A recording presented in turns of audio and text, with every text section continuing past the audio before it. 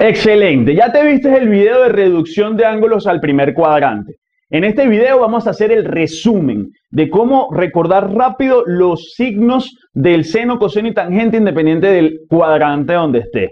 Para poder entender bien de fondo dónde sale eso, te invito a que veas los videos de seno, coseno, tangente y de la reducción de los ángulos al primer cuadrante antes de empezar. Vamos.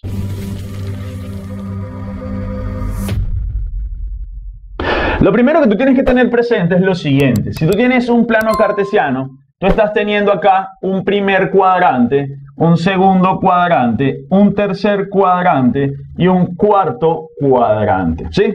Pero mira lo que voy a colocar. La P de primero, la S de segundo, la T de tercero y la C de cuarto cuadrante. ¿Qué significa eso? Aquí en el primer cuadrante, P de primero, aquí son positivos todos. Todos son positivos. ¿Quién? El seno, coseno y la tangente son positivos todos. ¿Sí? En el segundo cuadrante, S del seno, S de segundo cuadrante. Aquí está diciendo que solamente el seno es el que es positivo. El coseno y la tangente son negativos en este cuadrante.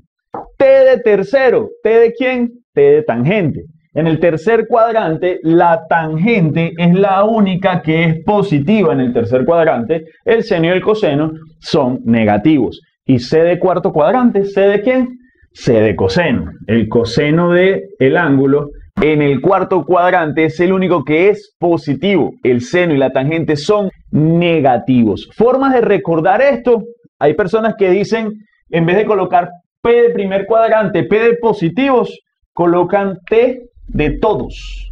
Colocan acá T de todos, que todos son positivos. Y hay personas que se aprenden esto diciendo, para recordarse, todos los sábados se toma café, todos los sábados se toma cerveza, si eres mayor de 18 años, todos los sábados se toma kurda, si eres de Venezuela, dependiendo de cuál eh, forma tú te lo quieras aprender, es clave. Esto es un resumen. De esa manera tú recuerdas de una vez cómo saber el signo del seno, coseno y tangente para qué cuadrante esté. En el segundo cuadrante, ¿cuánto le falta para hacer 180 grados? En el tercer cuadrante, ¿cuánto se pasó de 180 grados? Y en el cuarto cuadrante, ¿cuánto le falta para dar la vuelta completa? De esa forma tú puedes recordar cómo encontrar el ángulo que se conecta con el que tienes para reducirlo al primer cuadrante. Espero que haya quedado claro. Este es un video súper cortico para resumir todo esto. Recuerda que todos los sábados se toma café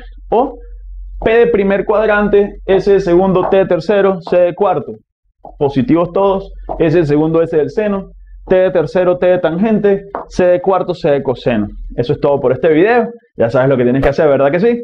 Nos vemos en el siguiente entonces, donde vamos a profundizar qué pasa ahora cuando tengo, ahora son ángulos no positivos, sino ángulos negativos. ¿Cómo hago para calcular el seno, coseno y tangente si me dicen seno de menos 30 grados, coseno de menos 50 grados? Esos valores, ¿cómo se pueden llegar a calcular? Nos vemos allá. Chao.